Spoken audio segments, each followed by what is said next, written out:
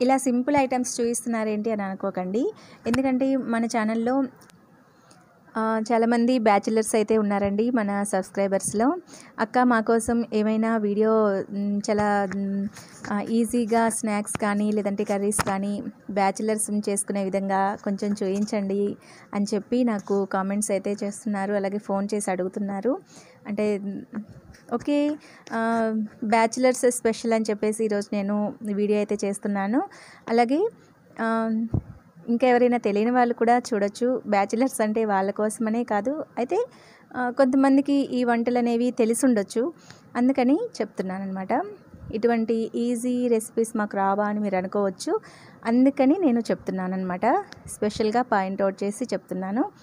Okay మన ఛానల్లో ఉన్న బ్యాచిలర్స్ కోసం అలాగే కొత్తగా చూసేవారి కోసం కూడా ఓకే ఈ వీడియోస్ని ఫాలో అయిపోండి.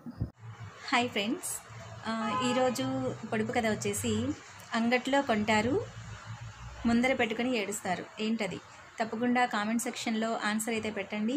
అలాగే తప్పకుండా ఆన్సర్ పెట్టడానికి ట్రై చేయండి. ఓకే ఫ్రెండ్స్ నా ఛానల్ ఇంకా సబ్స్క్రైబ్ చేసుకొని వాళ్ళు రెడ్ కలర్లో సబ్స్క్రైబ్ అని ఉంటుంది కదండి దాని మీద ప్రెస్ చేయండి. అలాగే బెల్ ఐకాన్ని ప్రెస్ చేయండి. త్రీ బెల్స్ వస్తాయండి. ఫస్ట్ బెల్ ఆల్ బెల్ అనేది ప్రెస్ చేయండి. ప్రతిరోజు నేను పెట్టే వీడియోస్ అయితే మీకు వస్తాయి ఓకే వీడియో చూసేయండి. Hello friends today wonderful video దోశపిండితోటి three అద్భుతమైన స్నాక్స్ అయితే చూపించబోతున్నాను ఒకే పిండితోటి మూడు రకాల స్నాక్స్ అయితే వేసుకోండి. మీరు కూడా ఎంజాయ్ చేయండి. ఓకే? అమ్మమ్మ ఉషోదయం విని నవోదయం ఛానల్ని సబ్స్క్రైబ్ చేసుకోండి. ఈ వీడియో నచ్చితే లైక్ చేయండి. ఓకే ఫ్రెండ్స్ ముందుగా అయితే దోసపిండి తీసుకున్నాము. దోశపిండి. ఒక త్రీ కప్స్ అయితే ఉంటుందండి ఈ దోశపిండి చూడండి. దీనిలో కొంచెం సాల్ట్ అంటే మీకు చూపించడం కోసం సాల్ట్ అనేది చూపిస్తున్నాను ఆల్రెడీ మనం దోసపిండి మిగిలిన దోశపిండి తీసుకుంటున్నాం కదండి. ఆల్రెడీ మనం దోశపిండిలో సాల్ట్ అనేది కలుపుకొనే ఉంటాం కాబట్టి అది గుర్తుపెట్టుకోండి. అలాగే ఒక కప్పు క్యారెట్ తురిమేస్తున్నాను. అలాగే టూ కప్స్ సేమియా వేస్తున్నాను. సేమియాని టూ కప్స్ తీసుకోండి. అలాగే ఉల్లిపాయ తురుము అలాగే పచ్చిమిర్చి తురుము జీలకర్ర. ఈ మూడింటిని కూడా యాడ్ చేద్దాము. కొంచెం కరివేపాకును కూడా యాడ్ చేస్తున్నాము. లీవ్స్ని కొంచెం ముక్కలు చేసుకోండి. వీటన్నిటిని కలుపుకోండి. అలాగే కొంచెం అల్లం తురుమును కూడా యాడ్ చేద్దాము. అల్లము దంచుకోవడం కంటే కూడా ఇలా తురుము వేసుకోవడం పంట కిందకి తగులుతూ ఉంటే చాలా బాగుంటుంది. ఈ విధంగా అన్నిటినీ కలుపుకొని జస్ట్ ఒక ఫిఫ్టీన్ మినిట్స్ అయితే పక్కన పెట్టేసుకోండి. చూడండి ఈ విధంగా ఉన్నప్పుడు మనం తీసుకొని కొంచెం వాటర్ కూడా కలుపుకోవచ్చు అండి దీనిలో. మరి ఇంత థిక్గా అవసరం లేదు. మనకు కావాల్సిన క్వాంటిటీలో కొంచెం వాటర్ అయితే కలుపుకుందాము. బాగా లూజ్ చేసుకుంటే దోశలు కూడా పోసుకోవచ్చు. లేదంటే ఈ కన్సిస్టెన్సీలో చాలండి. ఈ విధంగా కలుపుకునే దాన్ని మనము ముందుగా ఒక బాండీ తీసుకొని దానిలో ఆయిల్ పోసుకొని వేడెక్కాక కొంచెం కొంచెం అలా బోండాల్లాగా వేసుకోవాలండి. అలాగే ఈ పిండి పొంగదేమో అనుకున్న వాళ్ళు కొంచెం బేకింగ్ సోడా కూడా వేసుకోవచ్చండి. బేకింగ్ సోడా వేసుకున్నా కూడాను కొంచెం లైట్గా పొంగుతాయి అన్నమాట. చూడండి ఈ విధంగా మనం బోండాలు అయితే రెడీ చేసుకున్నాం కదా. చాలా క్రిస్పీగా చాలా టేస్టీగా ఉంటాయండి. మనం సేమియా కలపడం వల్ల చాలా చాలా బాగుంటాయి. మరొక రకం చూడండి. ఇది గుంట పొంగనాలు ప్యాన్. తెలుసు కదండి మీ అందరికీ? గుంట పొంగనాలు ప్యాన్లో జస్ట్ అలా టూ త్రీ డ్రాప్స్ ఆయిల్ వేసుకొని అదే పిండిని మనము ఈ గుంట పొంగనాల్లో వేసుకుంటున్నామండి.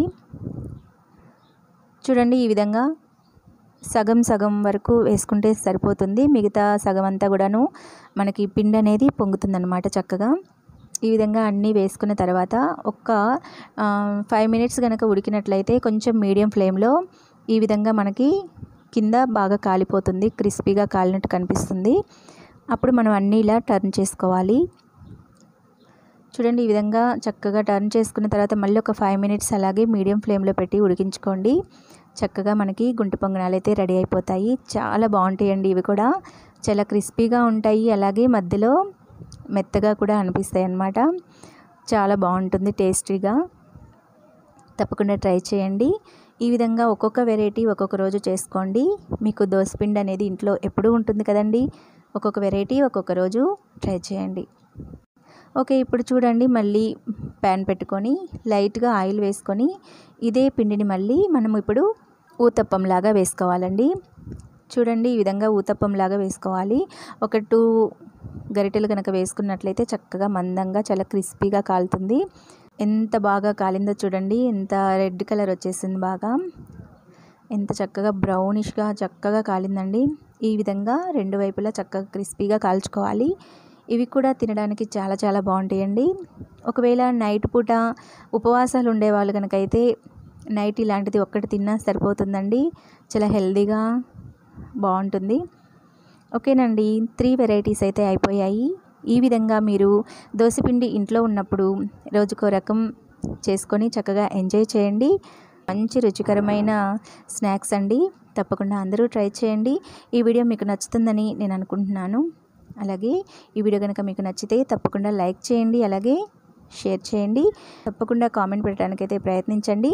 చూసిన ప్రతి ఒక్కరూ లైక్ చేయడానికైతే ప్రయత్నించండి ఏంటండి? ప్రతి ఒక్కరూ చూస్తున్నారు కానీ అసలు లైక్ మీద కనీసం క్లిక్ చేయరేంటండి? తప్పకుండా లైక్ మీద క్లిక్ చేయండి. Okay all is well. పాజిటివ్గా ఆలోచించండి. పాజిటివ్ రిజల్ట్ ఉంటుంది. Okay bye.